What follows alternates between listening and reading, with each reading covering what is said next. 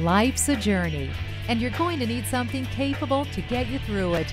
This 2015 GMC Yukon XL is up for the task.